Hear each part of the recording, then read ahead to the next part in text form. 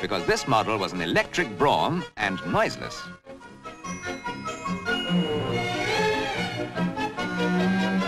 However, we are not so much concerned with the merits of the veteran car as with, on this occasion, its source of power, the sun. For this is the world's first solar car, powered by a 10,000 cell panel on the roof, brought over from the United States by scientist and pioneer in this sphere, Dr. Charles Escoffery, to illustrate the potential of solar energy. The silicon cells convert heat into electric power, which is then stored in the car's batteries, and with the present roof panel, it takes between 8 and 10 hours of sunlight to provide enough power for an hour's driving at 20 miles an hour.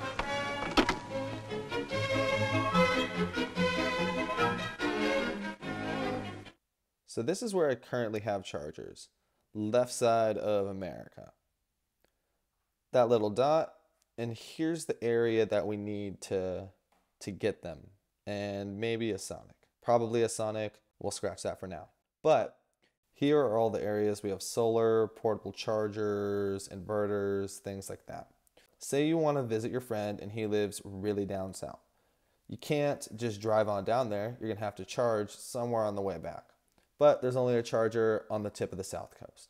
So before you head on back, you got a low battery and you're going to have to travel further to go all the way back home. That's wasting you time, that's wasting your resources. These are the main power companies in California. We got SDG&E, PG&E, and Doofenshmirtz. And they pay you one third of a penny per kilowatt hour.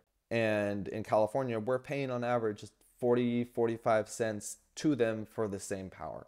Kind of a ripoff. So we had NEM 2.0 and now we're on to 3.0. Um, what is it? They're trying to justify it with a set of laws and so they can point and be like hey no it's it's the rules here. That's that's what we're working with. So instead of SDG&E giving people nothing, they put a law into place that says you got to give them something, and they've slowly been tacking it back they're trying to move people into solar sooner. So if you get solar panels now, you'll be on NEM 3.0, and eventually when NEM 4.0 and you comes out and you get absolutely even less than nothing, you'll still be on 3.0 because your solar panels are assigned to 3.0.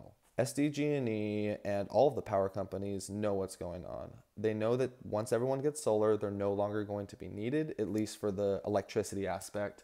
And in the long run, people aren't going to be using gas for things like washing machines and water heaters and whatever you still have.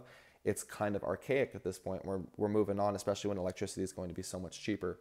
So as soon as that happens, they have no more income. So they're tacking people into a, a contract now that will keep them afloat in the future so their investors don't explode right now. The big change from 2.0 to 3.0 was that they dropped the buyback from 3 cents to 0.3 cents. So you're no longer, you're making 10x less, which is kind of a lot. And then also, it doesn't carry on. It's not a true buyback, it's a credit.